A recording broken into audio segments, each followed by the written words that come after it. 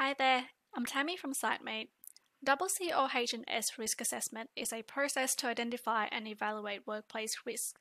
Traditional manual methods cause delays and inaccuracies, hindering compliance and highlighting the need for a streamlined, digitized solution to improve accuracy, efficiency, and collaboration.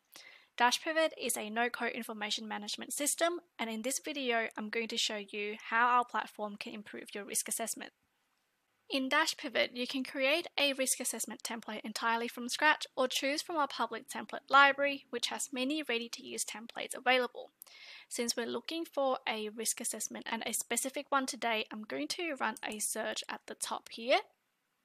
And from here, you can preview the format that we have available before adding this to your workspace to see if this suits your requirements.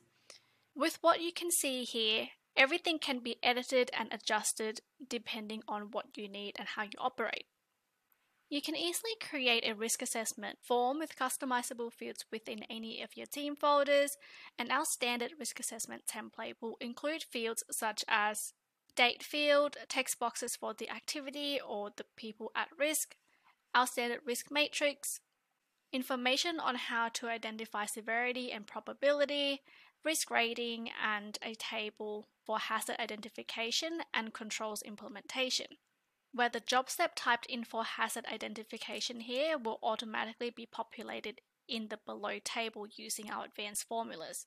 More text boxes for additional information and a final sign off at the end for the assessor.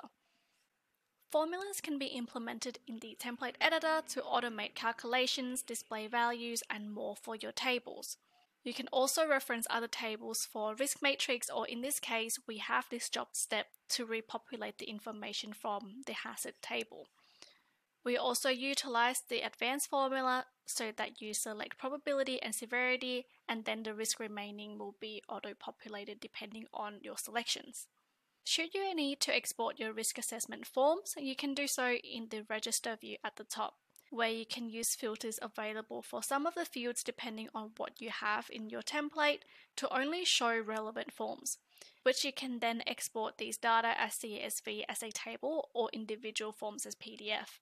Risk assessments can also be created and submitted using our mobile application, the Dashpivot app. On the app, form access and creation are simple.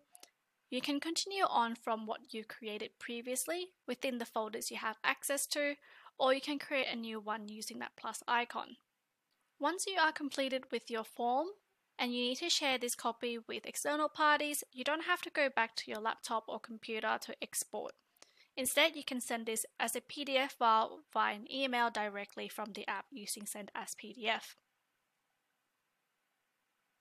The mobile and tablet app works offline and is available on both iOS and Android devices, making this process even more accessible for all workers involved. Dashpivot can also be used for many other use cases and data can be synced to external tools such as Excel, Power BI, Xero, etc. using our integration product called Flowsite.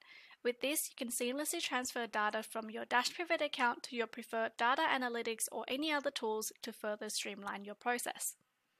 You can try Dashpivot for your COH&S risk assessment today using our sign up link and let us know what you think. Thanks for watching.